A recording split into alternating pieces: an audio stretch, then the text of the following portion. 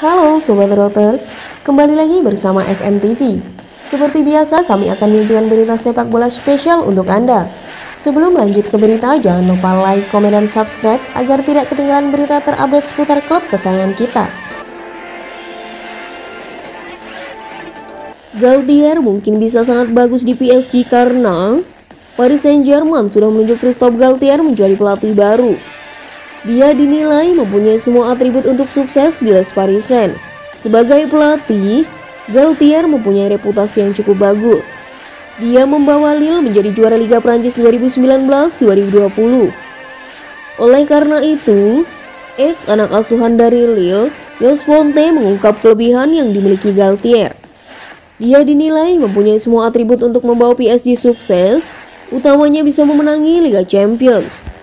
Ancelotti mencoba, Tuchel mencoba, banyak orang sudah mencoba, jadi ini memang berat. Kata Yos Ponte di Talksport.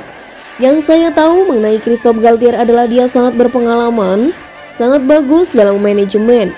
Kepribadian yang hebat, dia mempunyai suatu hal dalam dirinya, sebuah aura, dia pribadi yang sangat lucu. Dia sangat bagus dalam memberi penjelasan pada dirinya apa yang dia inginkan dari tim dan apa yang dia harapkan dari Anda. Dia sangat pandai dalam hal mengatasi pers bagaimana dia berurusan dengan semua yang ada di sekelilingnya. Dan dia mempunyai Luis Campus di belakangnya juga, yang mana menjadi titik kuat lainnya. Saya tak berpikir dimiliki manajer lain, kata dia menambahkan. Tak ikut tur promosi Manchester United, Ronaldo diklaim segera ke PSG. Ketidakhadiran Cristiano Ronaldo dalam tur pramusim Manchester United di Thailand dan Australia diklaim bakal mendekatkan proses transfer sang mega bintang ke klub Paris Saint-Germain. Ronaldo sudah absen dalam persiapan pramusim Manchester United di tempat latihan yang berlokasi di Carrington sejak pekan lalu. Pihak Red Devils juga kemudian memastikan pemilik lima gelar Ballon d'Or itu akan absen dalam lawatan ke Thailand dan Australia. Kabar tersebut diyakini Pedro Almeida bakal membuat Ronaldo segera hengkang dari Manchester United dan bergabung ke PSG. Almeida merupakan jurnalis Portugal yang menyebut penasehat PSG, Luis Campos sedang berhubungan dengan George Mendes yang merupakan agen Ronaldo. Sejak masa persiapan menyambut musim 2022-2023, Ronaldo sudah disebut-sebut mendekat dengan pintu keluar Old Trafford. Kegagalan Manchester United bersaing dalam perebutan gelar juara dan kehilangan tempat di zona Liga Champions didengungkan sebagai penyebab. Selain itu, aktivitas transfer Manchester United juga disinyalir membuat Ronaldo frustasi dan ingin berpisah lagi dengan klub yang turut membesarkan namanya tersebut. PSG merupakan salah satu klub yang dikaitkan dengan Ronaldo selain beberapa klub top Eropa lainnya seperti Chelsea, Bayern Munchen, dan Barcelona. Sementara ada pula laporan dari Inggris yang menyatakan Ronaldo masih menyimpan keinginan bergabung dengan Manchester United kendati tak bisa mengikuti agenda pramusim klub.